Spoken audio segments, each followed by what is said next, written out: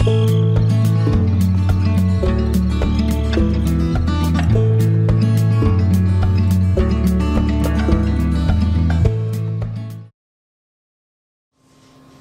วัสดีครับ ก็กลับมาต่อกันใน EP ที่ 6 นะครับ กับเกม Factorio นะครับ โอเค ก็ก่อนอื่นเลยนะครับ มาเหมือนเดิมครับ ก่อนที่จะเริ่มคอนเทนต์ใน EP นี้นะครับ เราไปทำการอัปเดตนะครับเกี่ยวกับสถานการณ์ในฐานของเราณตอนนี้นะครับ ก็ปัญหาที่ผมเจอนะครับอย่างแรกนะครับ ก็คือหลังจากที่เราได้มีการเปลี่ยนระบบการกลั่นน้ำมันนะครับจากที่เราได้แค่ก๊าซปิโตรเลียมอย่างเดียวเนี่ยไปเป็นแบบระบบแอดวานนะครับซึ่งจะทำให้เราได้พวกน้ำน้ำมันเบาน้ำมันหนักอะไรประมาณนี้ด้วยนะครับ ทีนี้มันมีปัญหาครับเพราะว่าอะไรครับเพราะว่าหลังจากที่เราทำการกลั่นออกมาเป็นเอาพุทสามตัวแล้วเนี่ยเราใช้ไปเพียงแค่ 1 ตัวที่แบบเต็มๆนะครับก็คือตัวก๊าซปิโตรเลียมเท่านั้น ส่วนอันที่ 2 ครับ ที่ผมได้ใช้ใน EP ที่แล้วนะครับ ก็คือตัวนี้นะครับที่เอามาแปรรูปนะครับ จากน้ำมันน่าจะเป็นน้ำมันหนักนะครับโอเค เอามาเปลี่ยนเป็นตัวน้ำมันเครื่องนั้นนั่นเองนะครับ ซึ่งเอามาทำการผลิตเป็นเครื่องอ่าแล้วก็ตัวนี้เราจะเอาไปผลิตโดนต่อไปนะครับ ทีนี้ปัญหาคืออะไรครับ ปัญหาก็คือน้ำมันเบาด้วยนะครับ น้ำมันเบาเนี่ยเนื่องจากว่าเราไม่ได้ใช้งานเลยนะครับ มันเลยทำให้ตอนแรกเนี่ยผมมีแท้งเพียงแค่4แท้งแล้วก็หลังจากนั้นน้ำมันเบาเนื่องจากไม่ได้ใช้งานมันก็เลยเต็มนั่นเองครับพอเต็มปุ๊บมันไม่สามารถกลั่นน้ามันที่เหลือได้เลย มันก็เลยเป็นอุปสรรคครับ ทีนี้ผมก็เลยไปหาวิธีครับว่า เราจะทำยังไงกับน้ำมันเบาดีนะครับ วิธีการครับก็คือผมก็เอาน้ำมันเบาเนี่ยแหละมาเข้าตัวโรงงานเคมีอีกรอบหนึ่งนะครับ โดยที่น้ำมันเบาเนี่ยมันสามารถเอาไปรวมกับน้ำนะครับสกัดเป็นตัวก๊าซปิโตรเลียมได้นะครับ นั่นหมายความว่าเราก็ใช้การสกัดนะครับ สร้างก๊าซปิโตรเลียมขึ้นมาประมาณนี้นะครับ ซึ่งตอนนี้รู้สึกว่าก๊าซปิโตรเลียมน่าจะเต็มเรียบร้อยแล้วนะครับ ไม่เป็นไรเพราะว่าก๊าซปิโตรเลียมเนี่ยเราใช้หลายอย่างนะครับ ไม่ว่าจะเป็นเรื่องของการผลิตพลาสติก ในเรื่องของการผลิตซัลเฟอร์ต่างๆ หรือกรดกำมะถันต่างๆนะครับ โอเค ส่วนที่นี้ครับ ปัญหาต่อไปนะครับ หลังจากที่เราใช้น้ำมันเบาไปเรียบร้อยแล้วนะครับ ใช้ก๊าซปิโตรเลียมเรียบร้อยแล้ว ทีนี้มาเหลือแค่น้ำมันหนักครับ เพราะว่าการที่เราจะเอาไปทำการผลิตเป็นน้ำมันเครื่องเนี่ยก็ไม่ได้ใช้เยอะอะไรมากมายนะครับ ตอนนี้รู้สึกว่าจะไม่ค่อยได้ใช้แล้วด้วย โอเค ก็ตรงนี้ย้อนกลับมาครับที่น้ำมันหนักนะครับ ผมก็เลยเอาน้ำมันหนักเนี่ยไปเข้าโรงงานเคมีนะครับ ตรงนี้ซึ่งน้ำมันหนักเนี่ยสามารถไปรวมน้ำนะครับได้เป็นออกมาเป็นเอาพุทเป็นน้ำมันเบานั่นเองนะครับ โอเค ก็เท่ากับว่าตอนนี้สุดท้ายนะครับ น้ำมันหนัก ปลี่ยนรูปเป็นน้ำมันเบา น้ำมันเบาเปลี่ยนรูปกลายเป็นก๊าซปิโตรเลียมนะครับแล้วก็ก๊าซปิโตรเลียมก็เอาไปใช้ผลิตอย่างอื่นต่อไปนั่นเองนะครับโอเคตามนี้ครับ หลังจากนั้นก็ไม่ค่อยมีอะไรใหม่แล้วนะครับ ผมก็ได้ทำการเรียกว่า กำลังจะเตรียมเข้าของทรัพยากรต่างๆนะครับรวมไปถึงพวกรายการผลิตครับ เพราะว่าอะไรครับเพราะว่านะตอนนี้นะครับในเรื่องของการวิจัยครับอ่าเดี๋ยวผมกดเปิดให้ดูนะครับ การวิจัยเนี่ยผมได้ทำการวิจัยนะครับอ่าไอ้ส่วนที่มันสามารถวิจัยได้ก็คือใช้ขวดสีแดงสีเขียวแล้วก็สีฟ้าเนี่ย ครบหมดแล้วนะครับ ที่เหลือมันจะเป็น 3 ขวดก็จริงแต่ว่ามันจะเป็น 3 ขวดคือใช้สีเขียว สีแดงแล้วก็สีดำนะครับ สีดำเนี่ยคือการทหารนะครับ เพราะฉะนั้นตรงนี้เนื่องจากว่าเรายังไม่สามารถคราฟตัวสีดำได้นะครับรวมไปถึงอนาคตเนี่ยสิ่งที่เราจำเป็นจะต้องใช้นะครับจริงๆอะผมอยากจะได้จริงแค่มีตัวเนี้ย อันนี้นะครับแค่อันเดียวเนี่ยก็จะทำให้การสร้างเมืองหรือการสร้างสิ่งก่อสร้างของเราเนี่ยโดยการใช้บลูพินเนี่ยค่อนข้างจะง่ายครับเพราะว่ามันสามารถโอนถ่ายเข้าของทรัพยากรต่างๆ ผ่านตัวกล่องพวกนี้นะครับซึ่งผมอยากได้ตัวนี้มากๆครับแต่ว่าเรายังไม่สามารถทำการวิจัยได้เพราะเนื่องมาจากว่าตัวนี้เนี่ยเราจะเป็นต้องใช้เป็นขวดสีเหลืองครับทีนี้ขวดสีเหลืองเนี่ยเราจะทำยังไงครับขวดสีเหลืองเราสามารถทำการวิจัยได้แล้วนะครับ แต่ว่าการสร้างของมันเนี่ยค่อนข้างจะยากครับโอเค ทีนี้เรามาดูขวดสีเหลืองกันสักนิดนึงนะครับขวดสีเหลืองเนี่ยวิธีการคราฟนะครับ ต้องบอกว่าเป็นอะไรที่แบบหนักหนาสาหัสมาก เพราะว่าเนี่ยครับคือจะต้องใช้เป็น แผ่นวงจรสีน้ำเงิน ใช้ตัวโครงหุ่นยนต์บินนะครับ หรือตัวโดนแล้วก็ใช้โครงสร้างความหนาแน่นต่ำซึ่งตรงนี้เป็นการผลิตที่แบบยากมากๆนะครับ ผมก็คิดว่าโอเค ผมมาไปหาบรูปินนะครับ ตัวที่ทำการผลิตขวดสีเหลืองมาเรียบร้อยแล้ว แต่ว่าค่อนข้างจะยากสักนิดนึงครับไม่ว่าจะเป็นขวดสีเหลืองหรือขวดสีม่วงนะครับโอเค ตามนี้ ซึ่งผมก็เลยมองว่าเอางี้ละกันไหนๆเราก็จะทำการสร้างเพิ่มนะครับ ผมเลยคิดว่าเดี๋ยวก่อนหน้านั้นเนี่ยเราทำการสร้างแผนตัวนี้ให้มันครบ4สีก่อนนะครับสีสีที่ว่านี้ก็คือสีเขียวสีฟ้าสีแดงแล้วก็สีดำนะครับ เพราะฉะนั้นหมายความว่าตรงที่ผมอาจจะต้องมีการปรับปรุงเปลี่ยนแปลงนะครับ ก็คือตอนนี้เนี่ยในรายการผลิตนี้ผมได้ทำการคราฟ ขวดวิจัยนะครับ สีแดง สีเขียว สีฟ้านะครับ แต่ยังขาดสีดำอยู่เพราะฉะนั้นวันนี้ก่อนอื่นเลย ผมจะมาทำการปรับปรุงเปลี่ยนแปลงหรืออัปเกรดตัวนี้ให้มันสามารถผลิตสีดำได้นั่นเองนะครับผมจะให้จำตัวเคล้าโครงหรือตัวบลูปินคร่าวๆตามนี้ครับ โดยที่สีดำเนี่ยผมจะเพิ่มอ่ารายการผลิตเนี่ยเพิ่มมาระหว่างนี้นะครับเป็นสีดำซึ่งสีดำเนี่ยจริงๆ คราฟไม่ยากครับ สีดำเนี่ยเวลาคราฟน่าจะใช้เพียงแค่ ตัวกระสุนสีแดงระเบิดนะครับประมาณนี้ซึ่งถือว่าไม่ยากเท่าไหร่ครับนี่ยครับก็คือใช้กระสุนใช้ระเบิดแล้วก็ใช้กำแพงเท่านั้นนะครับตัวนี้เป็นอะไรที่ค่อนข้างจะง่าย แล้วก็ผมเลยคิดว่าเดี๋ยวผมจะเอาบลูพินตรงนี้เปลี่ยนใหม่คือเพิ่มสีดำเข้าไปเพิ่มรายการผลิตครับตรงนี้เนี่ยง่ายๆล้วกันว่ามันใกล้เคียงกันนะครับแค่เพิ่มอ,อีกหนึ่งแถวที่เป็นสีดำเข้ามานะครับแล้วก็ขยับส่วนนี้แยกออกไปก็คือแยก 2 ฝั่งแล้วก็เพิ่มสีดำตรงกลางนะครับ โอเค ให้จำภาพนี้ไว้นะครับ เดี๋ยวผมจะลบทิ้งทั้งหมดเลย เพราะว่าณตอนนี้เนี่ยผมได้ทำการวางบลูปินเรียบร้อยแล้ว อันนี้บลูปินเนี่ยผมไม่ได้เอามาเหมือนมันประมาณว่าไม่ได้ import มาจากตัวในเน็ตนะครับ แต่ว่าผมอะทำการวางของผมก่อน เราก็ทำการ save ทับเอาไว้นะครับ ก็สร้างเป็น blueprint คร่าวๆก่อน ก็จะได้ประมาณนี้อะเดี๋ยวผมจะเปรียบเทียบให้ดูนิดนึงละกันนะครับอ่าตรงนี้นะครับรายการผลิตที่เพิ่มเข้ามานะครับ สังเกตนะครับว่าตัวโรงงานจะมีตรงกลางเพิ่มเข้ามาอีก 1 แถวนะครับแล้วก็ถ้าเราไปวางประมาณนี้ เดี๋ยวผมเนี่ยจะด้านขวามือนะครับ ด้านที่เป็นตัวโดมในการวิจัยเนี่ยจะเหมือนเดิมส่วนด้านซ้ายผมจะกระเถิบออกมานะครับ กระเถิบออกมาประมาณสักหก ประมาณสัก 6 ครับ โดยประมาณนะครับ ประมาณ 6 แถวสำหรับใครที่ใช้ตัวแบบแปลนแบบนี้ก็สามารถขยับไปได้นะครับ ประมาณ 6 แถว แต่ว่าตรงนี้เพื่อความรวดเร็วเนี่ยเดี๋ยวผมจะทำการลบทิ้งนะครับ ทั้งหมดเลยแล้วก็ในตัวผมของน่าจะเพียงพอแหละถ้าถ้าไม่พอเดี๋ยวยังไงเราค่อยทำการเก็บใส่กล่องไว้ก่อนนะครับ แล้วก็เดี๋ยวผมจะใช้บริการโดรนนะครับ ในการสร้าง ซึ่งตรงนี้ผมก็อ่าโอเค ลบทิ้งเลยก็แล้วกันนะครับ ก็เดี๋ยว ตรงนี้เนี่ยผมขอเวลาลบสักพักแล้วกันแล้วก็เดี๋ยวผมจะทำการวางบลูปินนะครับ หลังจากนั้นก็จะมาดูวิธีการสร้างแล้วก็การเทสระบบกันอีกทีหนึ่งก็แล้วกันนะครับ เอาละครับมาก็ผมรื้อไม่หมดนะครับหรือครับ ส่วนนี้ที่ จำเป็นต้องใช้ครับวิธีการเช็คนะครับ สมมุติว่าเราต้องการจะปรับปรุงอย่างของผมเนี่ยก็คือเรามีบลูปินอันใหม่เรียบร้อยแล้วนะครับ เราเอามาวางทาบนะครับกับอันเก่านะครับ ซึ่งถ้าอันไหนที่มันขึ้นสีแดงนะครับ ภายในบลูปินเนี่ยก็คือมันไม่สามารถสร้างได้เพราะฉะนั้นเราต้องรื้อไอ้ที่มันเป็นสีแดงที่จะสร้างทับนั่นเองนะครับ อะไรที่มันเป็นสีฟ้านั่นหมายความว่ามันมีอยู่แล้วนะครับ เราก็ ไม่จำเป็นจะต้องทำการรื้อทิ้งนะครับ สีเขียวคือส่วนที่สร้างเพิ่มนั่นเองนะครับ โอเค เมื่อเราได้แบบนี้นะครับ สังเกตนะครับว่าพื้นที่ในการเซอร์วิสต้องเช็คตรงนี้ด้วยนะครับ ถ้ายังยังคงอยู่ในพื้นที่สีเขียวเนี่ยสามารถทำการสร้างได้ แต่ถ้าสมมติว่าพวกกล่องต่างๆเนี่ย ตจะต้องอยู่ในพื้นที่สีเหลืองเท่านั้นนะครับ ถึงจะสามารถขนของหรือเก็บของได้นะครับ เพราะฉะนั้นหมายความว่าตรงนี้ผมเนื่องจากรื้อของเก่ามาเราก็ต้องทำการเอ่อวางของเก่านะครับ เก็บไว้ในกล่องสักกล่องหนึ่งซึ่งเดี๋ยวผมจะเอากล่องมาวางไว้แถวๆนี้ เพื่อที่จะให้พวกโดรนเนี่ยทำการาหยิบมาใช้ได้นั่นเองนะครับอะเมื่อพร้อมแล้วนะครับเดี๋ยวผมจะทำการวางบลูพิ้นก่อนกันแล้วกันเพราะว่าเราจะได้ปล่อยให้พวกโดรนเนี่ยทำการสร้างไปนะครับ ปึ้งเรียบร้อยครับแล้วก็ หลังจากนั้นนะครับมันก็จะขึ้นครับว่าขาดอะไรบ้างนะครับเออเหมือนในตัวผมเหมือนจะมีโดรนอยู่อะอีก 9 อันนะครับ ผมก็ปล่อยเลยแถวๆนี้ครับเราปล่อยตรงไหนก็ได้นะครับ อยู่ในพื้นที่ครับเดี๋ยวมันจะไปหยิบเข้าของเครื่องใช้เอง แล้วก็เนื่องจากว่าผมเก็บของเก่ามาผมเลยคิดว่า เดี๋ยวเราเอาของเก่านะครับ ใส่ไว้ในนี้อของเก่าที่เราใช้น่าจะเป็นพวกสายพานพวกไอ้นี่ไอ้นู่นหรือเปล่าอ่าลองใส่เผื่อไปก่อนนะครับ ไม่รู้ว่า ต้องใช้ของเก่าทั้งหมดกี่อัน ก็เอาคร่าวๆประมาณสักประมาณนี้ไปก่อน เดี๋ยวถ้ามันอะไรไม่พอเนี่ยอะนน่าจะพออยู่ครับตอนนี้ยังไม่มีขึ้นเตือนว่ามันไม่พอนะครับ เพราะฉะนั้นตรงนี้ผมก็ปล่อยให้โดนะครับทำการสร้างไปนะครับ โอเคต่อไปนะครับ เราจะมาดูครับว่าสิ่งที่เราจะเป็นต้องใช้นะครับ หรือทรัพยากรที่เราจะเป็นจะต้องเอาเข้านะครับในบลูปินอันนี้ของผมนะของเก่าผมทบทวนก่อนนิดนึงตรงที่ว่ามันจะมีแผ่นเหล็ก แผ่นทองแดงนะครับ มีเหล็กก้าหรือสตีลนะครับ ตรงนี้มีพลาสติกนะครับ อีกอันนึงก็คือเป็นสีเหลืองคือกดกรรมฐานนะครับ ซึ่งตอนนี้เนี่ยผมได้ย้ายกดกรรมฐานไปไว้ที่อื่นเรียบร้อยแล้วนะครับ ตรงนี้ ก็จะมีเป็นพลาสติก มีเหล็กก้า มี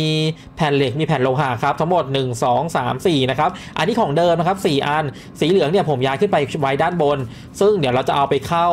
พร้อมกับตัวกำแพงครับกำแพงเนี่ยผมดึงมาจากอันเดิมเลยนะครับ ก็คือมันจะมีชุดที่ผมได้ทำการสร้างกำแพงกำแพงก็ได้มาจากการเอา ตัวหินเศษหินนะครับมาทำการเผาเป็นก้อนอิฐ แล้วก็ก้อนอิฐเนี่ยมาคราฟเป็นกำแพงตรงนี้นะครับก็ทำการส่งไปโอเค เท่ากับสายด้านบนนะครับ เดี๋ยวผมจะขึ้นไปชี้เห็น 2 ตัวนี้นะครับจะเป็นกำแพงนะครับแล้วก็ตัวตัวสีเหลืองนี้ก็คือกรรมฐานนั่นเองนะครับโอเค ส่วนอีกหนึ่งอย่างนะครับที่เราจะเป็นจะต้องมาใส่แทนด้านล่างนะครับ ด้านล่างเนี่ยจะมีขา Input นะครับทั้งหมด 5 ทรัพยากร 1 2 3 4 5 นะครับ ตรงนี้มีอยู่แล้ว 4 ครับ อีกหนึ่งส่วนหรืออีกหนึ่งอย่างที่เราจำเป็นจะต้องเอามาใส่เพิ่มนะครับ ก็คือถ่านหินนั่นเองนะครับ โอเค เดี๋ยวผมเอาถ่านหินอันนี้ไง ผมน่าจะทำเตรียมไว้ล้วเพื่อความรวดเร็วนะครับ ก็เดี๋ยวจะหยิบถ่านหินจากตรงนี้มาใส่เลยนะครับถ่านหินถ่านหินถ่านหินเนี่ยผมก็โอเคสีฟ้ามีสายพานพอดี ผมจะเอามาใส่เป็นลายเดียวกับ ตัวพลาสติกตัวนี้นะครับ มันก็จะวิ่งมาลายตามนี้แล้วเดี๋ยวเราค่อยไปทำการแยกตรงนี้เอานะครับ อะมาครับทีนี้ระหว่างที่รอโดนพวกนี้นะครับ ผมก็จะมาดู Input ครับ Input 5 แถวตรงนี้ โดยที่แถวแรกนะครับ จะคือฐานหินนั่นเอง แถว 2 ตรงนี้นะครับ ผมนับจากขวาไปซ้ายนะครับ อันที่ 1 คือฐานหิน อันที่ 2 คือแผ่นทองแดง อันที่ 3 คือแผ่นเหล็กครับ อันที่ 4 คือเหล็กก้านะครับ แล้วก็อันสุดท้ายคือ พลาสติกนั่นเอง เพราะฉะนั้นตรงนี้ผมเอาเป็นถ่านหินเข้าก่อนล้วกันนะครับ เพราะว่ามันอยู่อันแรก โดยที่เดี๋ยวผมจะทำการแยกตรงนี้ล้วกัน ผมมีตัวแยกหรือเปล่าวะผมเอาตัวแยกไปใส่หมดแล้ว เดี๋ยวผมขอเอาตัวแยกคืนนิดนึงแล้วกันครับ ตัวแยกจะต้องใช้เป็นสีเหลืองสีแดงอขอขึ้นก่อน อะสักห้าอันครับ เดี๋ยวไม่พอเดี๋ยวเราค่อยคาเพิ่ม โอเค แล้วก็เราใส่สีเหลืองไปก่อนก็ได้ครับ เดี๋ยวถ้าอันไหนมันจะเป็นต้องใช้เยอะเดี๋ยวเราค่อยทำการเปลี่ยนเป็นสีแดงนะครับก็เริ่มจากปุ๊บตรงนี้นะครับ แล้วก็ทำการแยกด้านขวาเป็นฐานหินครับปุ๊บปุ๊บด้านขวานะครับ เป็นฐานหินมาเข้าลายแรกเเนื่องจากว่าเมื่อเราเข้าตรงนี้มามันจะมีปนๆกันอยู่นิดนึง เพราะว่ายังไม่ได้ทำการเซตนะครับ ผมก็จะทำการเรียกว่าเป่าหัวมันไปนิดนึงครับ ตรงนี้โอเคเป็นฐานหินเรียบร้อยนะครับปึ๊บปึ๊บแล้วก็ตรงนี้อ่าผมว่าผมเอาของกลับคืนมาก่อนดีกว่าอ่าจะมีอันนี้มีอันนี้โอเค เอานี้มาก่อนครับ แล้วก็เราจะไปทำการวางใหม่นะครับ มาฐานหินเข้ารายที่ 1 โอเครายที่ 1 คือรายนี้นะครับ ก็จะเอาเป็นปุ๊บ โอเค แล้วก็ผมกำลังคิดอยู่ว่าเรา เดี๋ยวผมขอตัดก่อนละกันรอให้ระบบมันสร้างเสร็จก่อนนะครับ ก็เอาสักประมาณนี้โอเคปับปับปับปับปับฐานหินครับลายที่1ครับอันที่ 2 คือทองแดงนะครับ ทองแดงเราก็ทำการแบ่งลายตรงนี้นะครับ ซึ่งตรงนี้เนี่ยผมอาจจะต้องมีการเปลี่ยนเป็นสีแดงเดี๋ยวเราค่อยมาเปลี่ยนกันอีกทีนึงฐานหินตรงนี้เอาเป็นเอาอยังไงดี แต่ต้องมีเลี้ยวตรงนี้หนึ่งอันนะครับปึ๊บปึ๊บปึ๊บปึ๊บโอเค เลี้ยวตรงนี้ออกนี่ แล้วก็ตรงนี้มาอืมโอเค เอาลายนี้ก็ได้ปึ๊บโอเคครับ เราก็ตรงนี้มาเป็นโลหะนะครับ โลหะเป็นทองแดงฝั่งขวาปึ๊บ ทองแดงเข้านี่ เดี๋ยวผมจะอ้อมานี่โอเค น่าจะได้อยู่ครับ ทองแดงมานี่ แล้วก็ออกมานี่ปึ๊บปึ๊บโอ้โอเค สับสนนิดนึงนะครับ ไม่เป็นไร ก็วนๆนิดนึงวนๆนิดนึงปึ๊บปึ๊บปึ๊บโอเค แล้วก็เข้าลายนี้ปั๊บปั๊บส่วนต่อไปครับมา เป็นแผ่นเหล็กนะครับ แผ่นเหล็กเข้าเอาผมลืมเอาโอเคนึกว่าผมลืมประกบ เอาประมาณนี้โอเค เว้นเว้นไว้ก่อนเว้นไว้ก่อนปุ๊บแล้วก็เดี๋ยวรายเนี่ยอาจจะต้องเปลี่ยนเป็นสีแดงแทนนะครับตรงนี้เลี้ยวไม่ได้ครับ อาจจะต้องมีการเปลี่ยนนิดนึงเปลี่ยนตรงนี้เอาเป็นอืม โอเค นี่เลยเปลี่ยนตรงนี้เลยปับปับปับปับปับปับปับปับปึ๊บปึ๊บปึ๊บแล้วก็แยกตรงนี้มาครับ ตรงนี้ไม่ได้ซีเรียสอะไรเท่าไหร่นะครับปึ๊บปึ๊บโอเค แล้วก็ตรงนี้เลี้ยวเข้าลายนี้โอเคอ้าวเดี๋ยวเดี๋ยวเดี๋ยวผมลืมผมลืม โอเคลบใหม่ลบใหม่ครับลืมลืมว่าเรายังไม่ควรต่อนะครับ คือคืออยากจะให้สร้างเสร็จก่อนแล้วเราค่อยทำการต่อเชื่อมอีกทีนึง โอเคปึ๊บปึ๊บโอเคครับ ได้มาแล้ว 1 2 3 3 อันนะครับ ต่อไปนะครับ รายที่ 4 จะเป็นแผ่นเหล็กกล้านะครับ น่าจะไม่มีปัญหาอะไร ก็จะเข้ามาตรงนี้ตรงนี้ ตรงนี้โอเคปึ๊บปึ๊บ โอเคแล้วก็อันสุดท้ายปึ๊บ อันนี้น่าจะต้องเลี้ยว อ่าเดี๋ยวผมขอตัดไว้ตรงนี้เหมือนเดิมนะครับ ปึ้งแล้วก็ปึ๊บปึ๊บ ตรงนี้ฮึบโอเค แล้วก็ตรงนี้มาต่อนี่สุดท้ายครับปึ๊บเอ้ยเดี๋ยวเดี๋ยวเดี๋ยวโอเค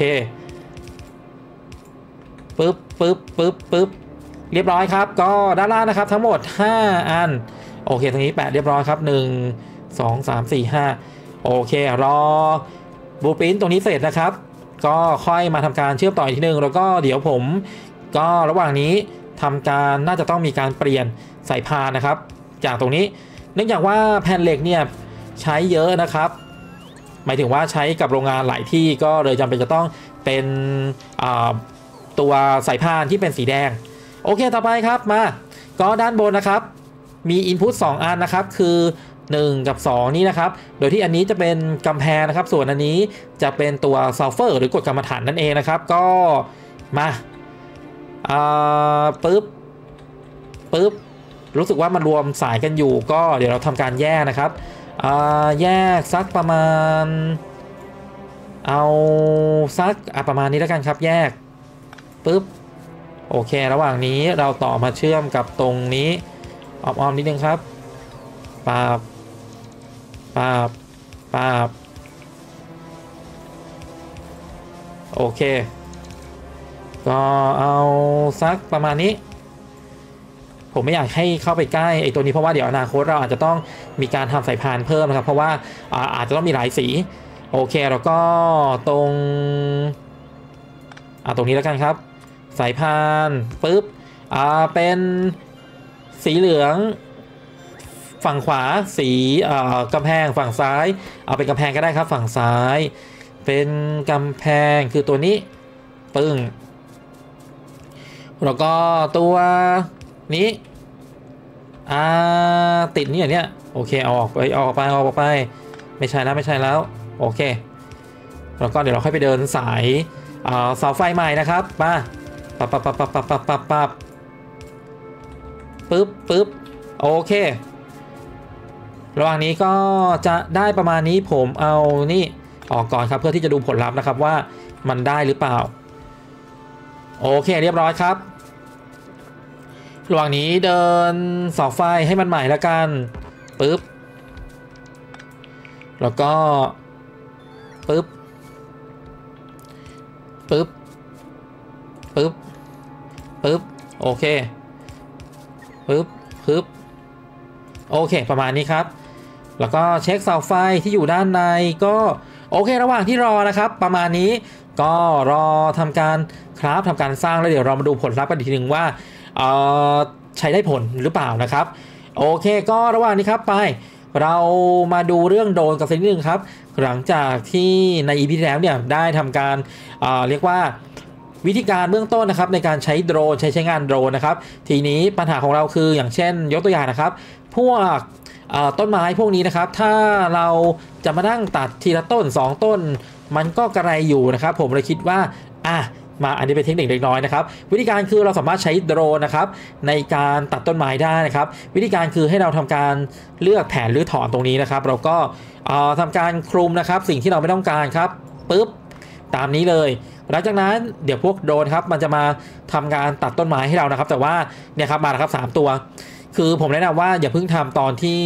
เราจำเป็นต้องมีการสร้างอะไรพวกนี้นะครับ เพราะว่าไม่งั้นเนี่ยมันก็จะแห่กันมา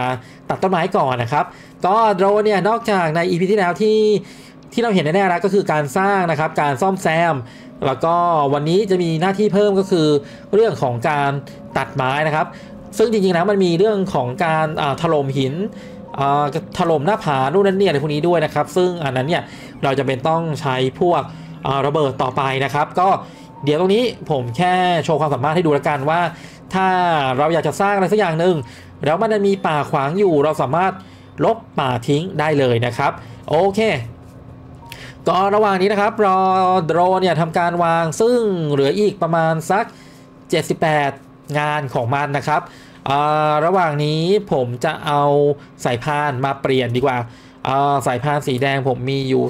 3 กล่องด้านบนน่าจะมีอยู่นะครับ โอเคน่าจะมีอยู่เยอะเลย เอานี้มาครึ่งหนึ่งละกันแล้วก็อันนี้อีกสัก 39อ่าไม่รู้ว่าพอหรือเปล่านะครับ เพราะว่าผมคาดเดาว่าไอตัวตัวเนี้ยสายพานของเหล็กเนี่ยน่าจะไม่พอแน่ๆโอเค เดี๋ยวผมเอาเปลี่ยนตรงนี้ก่อนนะครับ เพราะปกติเนี่ยสายพานเหล็กมันออย่างที่บอกไปนะครับว่าเหล็กมันใช้เยอะ แล้วก็สายพานเนี่ยควรจะเป็นแบบสีแดงซะส่วนใหญ่นะครับโอเคแล้วก็สายมุดเช่นเดียวกันนะครับไม่งั้นสปีดมันจะดรอปลงแล้วก็มันจะขนมาไม่ทันนั่นเอง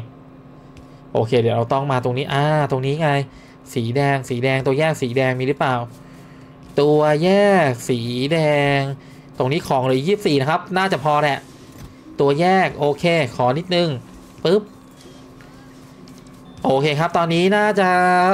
ใกล้เสร็จแล้วนะครับ มาเราจะมาเปลี่ยนตัวแยกตัวนี้ครับ ถ้าสมมติว่าเกิดเราเซตพวกเงื่อนไขอะไรพวกนี้ไปแล้วนะครับ แล้วตอนแรกมันเป็นสีเหลืองเนี่ยเราอยากอัปเกรดเราก็แค่วางทับไปเลยนะครับ พวกการเซตนู่นนั่นนี่มันก็ทำแบบอัตโนมัติเรียบร้อยแล้วนะครับ แล้วก็ต่อไปตรงนี้สีแดงอีกหนึ่งอุโมงนะครับ สีแดงสีแดงโอเคปึ๊บแล้วก็สายพานสีแดง หนึ่งสองปึ๊บปึ๊บปึ๊บอะผมต่อไปเลยแล้วกันเพราะว่าตอนนี้สร้างเสร็จเรียบร้อยแล้วนะครับไปมาดูระบบกันครับปึ๊บปึ๊บปึ๊บแล้วก็ปึ๊บ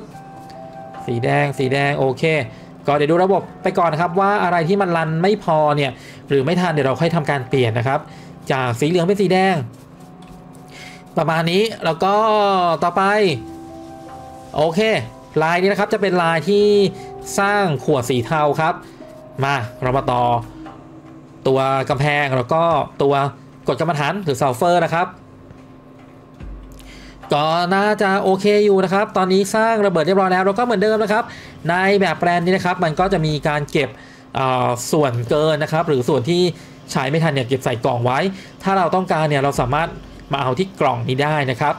โอเคที่เหลือก็ เป็นแบบแปลนที่คล้ายของเดิมอย่างที่บอกนะครับก็คือแค่เพิ่มแถวนี้มาแถวเดียวครับ แถวการคราฟขวดสีดำนะครับประมาณนี้ แล้วก็ตอนนี้สีดำสีดำโอเค เดี๋ยวสีดำมันน่าจะออกมาเส้นนี้นะครับ แล้วก็จะมาอยู่ตรงเส้นนี้ อยู่บนสีสีฟ้านั่นเอง โอเค ตอนนี้ยังขาดแคลนเป็นขาดแคลนระเบิดครับ ระเบิดระเบิดอ๋อโอเค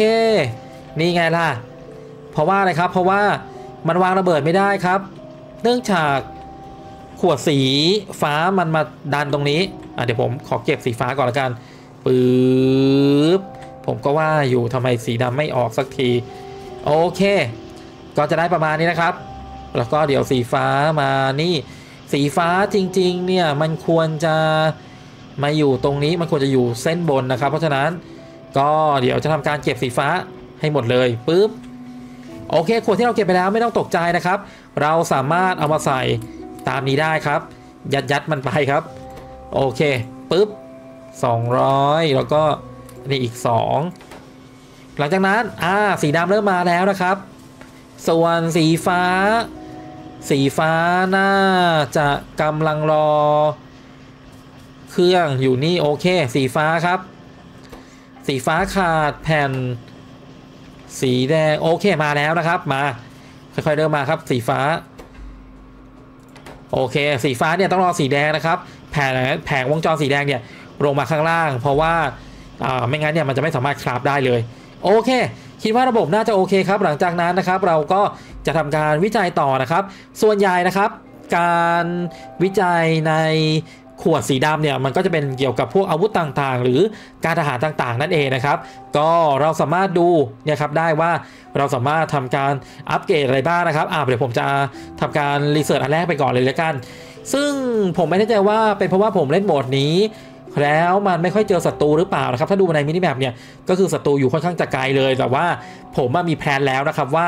เดี๋ยวเราจะไปทำการย้ายถิ่นฐานครับ ไปอยู่ใกล้ๆกับพวกเนี่ยตรงนี้มีน้ำมันครับ ตรงนี้มีทองแดง นี่ก็มีทองแดงนี่มีเหล็กนี่มีหินครับรวมไปถึงใกล้ๆนี้นะครับมีแร่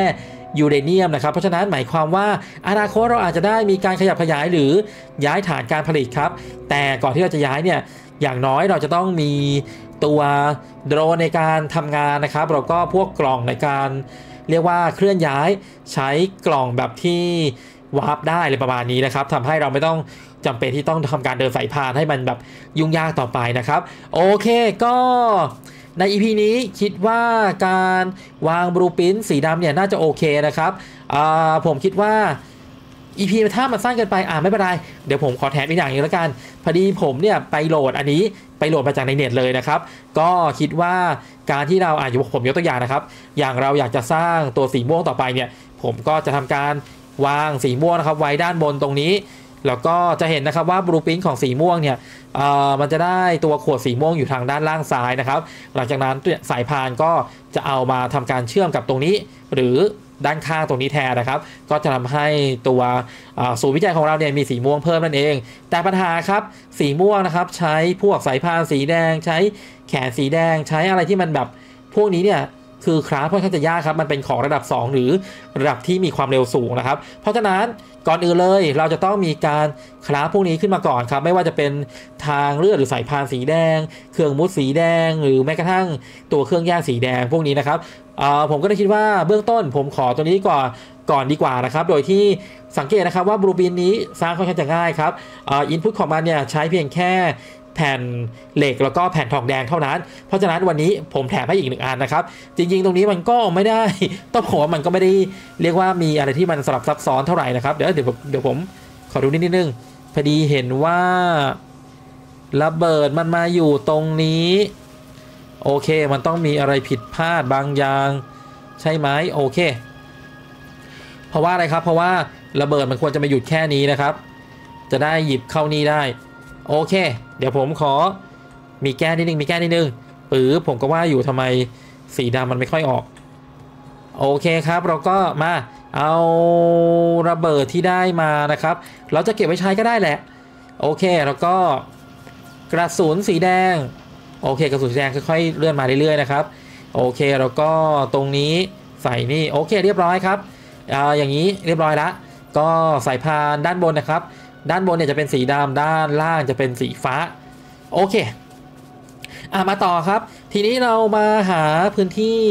ว่างๆดีกว่าครับเอ่อเมื่อกี้ผมจะทำอันนี้ใช่ไหมจริงอันนี้ก็ทำได้นะครับ มีเป็นอืมอยากได้แขนสีแดงอะช่างมันเอาเนี่ยดีกว่า โอเค นี่ไงผมเจอแล้วพื้นที่ว่างๆที่มีแผ่นอะนี่ก็ได้นี่นะเดี๋ยวผมขอดูก่อนนะครับว่าได้ไหมโอ้เสียดายไม่ได้ครับนิดนึงนิดนึง อ่ออินพุตมันอยู่ตรงไหนว่าอินพุตอยู่ตรงนี้นะครับ โอเค เราสามารถ อะ ประมาณนี้ได้นะครับ โอเค น่าจะได้แหละ ก็พยายามอยู่ในรัศมีสีส้มๆเหลืองๆไว้นะครับ เพราะว่าเผื่อเราอนาคตจำเป็นจะต้องมีการขนส่งหรืออะไรพวกนี้ โอเค ผมวางติดนี่เลยดีกว่า เออปุ๊บ ไม่ไม่ไม่ไม่ ไม่ควรติดไม่ควรติด ขอขยับมานิดนึงครับ โอเคประมาณนี้นะครับ ปึ้งแล้วก็ตรงนี้ต้องใช้แผ่นโลหะอ่าแผ่นทองแดงนะครับ แล้วก็แผ่นเหล็กอ่าตรงนี้เนี่ยเราไม่จำเป็นต้องคราฟก็ได้นะครับ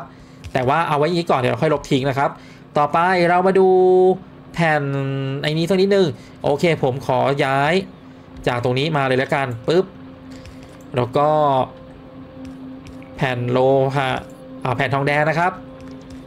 เอามาวางไว้อ่าประมาณนี้โอเค น่าจะกำลังสวยนะครับปึ๊บอ่าวิจัยเริ่มวิจัยเสร็จแล้วนะครับหนึ่งอันปึ๊บปึ๊บปึ๊บปึ๊บปึ๊บปึ๊บปึ๊บปึ๊บปึ๊บปืนพ่นไฟครับอ่าต่อไปเลย ก็วิจัยต่อไปเรื่อยๆนะครับอ่าแผ่นไอ้นี้หมดเดี๋ยวผมขอไปดูของเก่าแล้วกันครับเพราะเพราะว่าตรงจุดเดิมเนี่ยต้องบอกว่ามีอ่าของที่ยังใช้ไม่หมดครับ เยอะมากปึ๊บ ปึ๊บปึ๊บโอเค ไปต่อครับไปต่อ ก็เดี๋ยวแผ่นทองแดงจะมาถึงตรงนี้นะครับ เราก็เออเดี๋ยวผมขอเว้นไว้ตรงนี้ดีกว่าปึ๊บปึ๊บไม่เอาไม่เอาไม่เอาเราควรจะเว้น อะประมาณนี้นะครับ มาแผ่นทองแดงปึ๊บโอเคแล้วก็เดี๋ยวแผ่นอันนี้ลบทิ้งครับ ปึ้ง แล้วก็อย่างหนึ่งนะครับ แผ่นเหล็ก แผ่นเหล็กเราจะเอามาจากตรงไหนดี อืม ตรงไหนมีแผ่นเหล็กว่างๆบ้างไหม น่าจะมีแถวๆนี้นะครับ อะโอเค ไม่ต้องคิดอะไรมากครับ มา ในเมื่อมันมีตรงนี้ก็เอาตรงนี้นะครับ ปึ๊บปึ๊บปึ๊บปึ๊บโอเค แล้วก็ปึ๊บปึ๊บแม่ตรงนี้รอดได้หรือเปล่าวะปึ๊บอ่าได้อยู่ครับปึ๊บ ปึ๊บ แล้วก็มาตรงนี้ปึ๊บ โอเคปึ๊บปึ๊บปึ๊บปึ๊บ แล้วก็เดี๋ยวเราลบตรงนี้ทิ้ง โอเคครับ เพราะว่าจะได้เว้นตรงนี้ไว้ปึ๊บเดี๋ยวเดี๋ยวเดี๋ยวเดี๋ยว โอเค ประมาณนี้นะครับ แล้วก็หลังจากนั้นอยากได้แขนสีน้ำเงินมีไหม ไม่มีครับเองครับปึ๊บหนึ่งอัน เออผมลืมดูเลยของพอหรือเปล่าวะขาดกล่องสีแดงหนึ่งอันนะครับ ในตัวอามีกล่องสีแดงพอดี เดี๋ยวผมเอากล่องไปใส่ไว้ก่อน มันจะได้สร้างได้นะครับปึ๊บโอเค แล้วก็ตรงนี้ขาดไฟฟ้ายังไม่ได้เดินไฟฟ้า อ่าตอนนี้ ปึ๊บมา ไฟฟ้านะครับ ไฟฟ้า ไฟฟ้าเราเดินจากข้างข้างๆก็ได้ข้างบนก็ได้ครับ ข้างบนก็ได้ปึ๊บปึ๊บโอเค ไฟฟ้าอ่าโอเค แขนตรงนี้เดี๋ยวผมจะหรือทิ้งไปเลยนะครับ ปึ้งแล้วก็เดี๋ยวจะต่อตรงนี้เพราะว่าเรารู้อยู่แล้วว่าสายนี้คือทองแดงนะครับ แล้วก็ สายนี้คือแผ่นเหล็กปุ๊บโอเคเสร็จยังใกล้เสร็จแล้วโอเคเรียบร้อยนะครับ ก็มาทำการเดินสายเลยปุ๊บแล้วก็ตรงนี้ปุ๊บแล้วก็ต่อไปเนี่ย เออผมไม่ได้อ่าโอเค มันเก็บใส่กล่องนี้ครับนั่นหมายความว่าถ้าสมมติว่ากล่องนี้เนี่ยอยู่ในพื้นที่ที่เป็นสีเหลืองนะครับ ซึ่งตอนนี้มันอยู่นะครับ หมายความว่าในอนาคตถ้าเราจำเป็นจะต้องใช้พวกสายพานสีแดง หรือแม้กระทั่งทางมุดทางลอดทางอะไรประมาณนี้นะครับ ที่เป็นสีแดงเนี่ยก็สามารถ โดรนเนี่ยสามารถหยิบมาวิ่งมาหยิบตรงนี้ได้เลยนะครับ โอเค ก็ตรงนี้จะเป็นการปูพื้นฐานครับนั่นหมายความว่าในอนาคตเนี่ยยังมีบลูพินอีกหลายอันที่ผมจะทำการสร้างนะครับ จะเป็นเหมือนกับสิ่งของพื้นฐานในการใช้ทรัพยากรในการสร้างต่อไปนั่นเองนะครับ เราจะได้ไม่ต้องมานั่งคราฟเองนะครับ โอเค ก็สำหรับในพีนี้นะครับจะเป็นการปูพื้นฐานการนะครับ ในการสร้างขวดวิจัยสีดำแล้วก็เดี๋ยวใน EP หน้าเราจะมาต่อกันกับขวดวิจัยสีอื่นนะครับ เพราะว่า ผมวางแผนไว้แล้วว่าเดี๋ยวจะสร้างเพิ่มนะครับ โดยที่ณตอนนี้มันยังมีปัญหาเกี่ยวกับสายพานอยู่ก็อยากจะพยายามนะครับ ต้องบอกว่าเหลืออีกไม่ไม่นานแล้วนะครับในการวิจัยเพราะว่าเท่าที่ดูเนี่ยเห็นว่าเหลืออีกไม่กี่อันละแต่ว่าส่วนใหญ่เนี่ยอันหลังเนี่ยมันจะใช้เป็นพวกขวดวิจัยหลาย ๆ สีนะครับ เพราะฉะนั้นหมายความว่าเราจะจำเป็นจะต้องวางรากฐานนะครับ ในเรื่องของขวดวิจัยให้มันมั่นคงนะครับ แล้วก็สามารถเพิ่มเติมได้โดยที่ถ้ารื้อของเก่าเนี่ย มันก็ลือได้นะครับ แต่ว่าอาจจะเสียเวลาในการสร้างนิดนึงนะครับ โอเค ก็สำหรับใน EP นี้ เนื้อหาจะมีประมาณนี้นะครับ เราก็เดี๋ยวใน EP หน้ามีต่อแน่นอนนะครับ เราก็มาดูแล้วกันว่าจะมีอะไรเพิ่มเติมมากกว่านี้บ้างนะครับ ก็ฝากติดตามกันต่อด้วยกันแล้วกันสำหรับ EP นี้ลาไปก่อนครับ สวัสดีครับ